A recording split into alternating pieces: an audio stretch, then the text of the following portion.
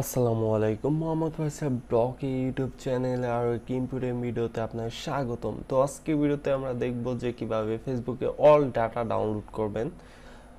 আপনাদের যাদের ফেসবুক নষ্ট হওয়ার সম্ভাবনা আছে বা ফেসবুকে সকল মেসেজ, সকল চ্যাট, সকল ইনফরমেশন, সকল ফটো সকল যা কিছু আছে সব কিছু একসাথে ডাউনলোড করতে চান তাদের জন্য আজকে ভিডিও তো প্রথমে সেটিংয়ে চলে যাবেন।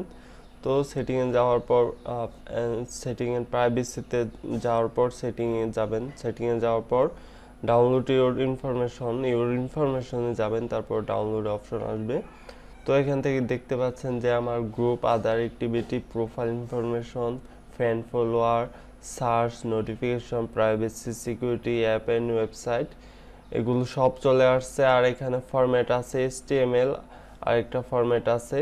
আর এখানে অল ডাটা আছে, আর এখানে মিডিয়া কোয়ালিটি আমি হাই দিয়ে নিয়েছি। তারপর ক্রিয়েট ফাইলে আমরা ক্লিক করব।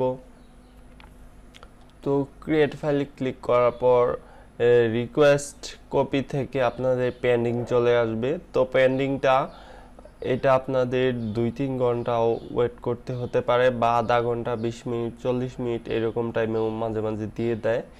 তো একটা নোটিফিকেশন চলে আসবে পেন্ডিংটা সেরে যাবে। পেন্ডিংটা সেরে নোটিফিকেশন চেক করলে দেখতে পারবেন যে your Facebook information file is already to download এরকম নোটিফিকেশন আসবে।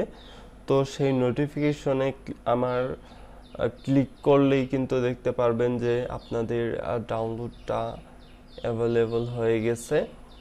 আপনাদের এখানে ডাউনলোড এগেন অপশন আছে আর একটা শুধু ডাউনলোড অপশন আছে।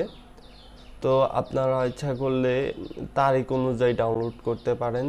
এখানে দুইটা আমার আছে, যেহেতু আপনাদের একটাও থাকতে পারে, আরও বেশিও থাকতে পারে।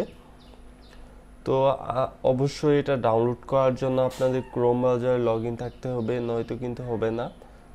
তো আমি Chrome browser already log in করে নিয়েছি। যে আইডি থেকে ডাউনলোড করতে চাচ্ছেন, সেই আইডিটাই অবশ্যই ক্রোম ব্রাউজারে বা আপনাদের ফেসবুকে ডাউনলোডে ক্লিক করলে যে ব্রাউজারটা ওপেন হয়, সেই ব্রাউজারে অবশ্যই আপনাদের আইডিটা লগ ইন করে নেবেন। যেই আইডি থেকে আপনারা ডাউনলোড করতে চাচ্ছেন, তো এখানে ডাউনলোডে গেলে আমি দিচ্ছি। তো আমার ক্রোম ব্রাউজার সিলেক্ট যেহেতু লগ ইন করছি ক্রোম ব্রাউজারটা আমি সিলেক্ট করে দিলাম। অন্য ব্রাউজার যদি লগ ইন করতাম অন্যটাই আমি সিলেক্ট করে দিতাম। তো এটা আমি এখানে ডাউনলোডে গেলে দেখতে পাচ্ছেন যে ডাউনলোডে ক্লিক করার পর ডাউনলোডে গেলে দেখতে পাচ্ছেন অটোমেটিক ডাউনলোড স্টার্ট হয়ে গেছে। এটা তিন দশমিক ষাট জিবি ডাউনলোড করতে মোটামুটি ছাব্বিশ মিনিট, বাইশ মিনিট লাগতে পারে। তো এই ভিডিও পর্যন্ত নেক্সট ভিডিওগুলো দেখা, আমন্ত্রণ রইল। আল্লাহ হাফেজ।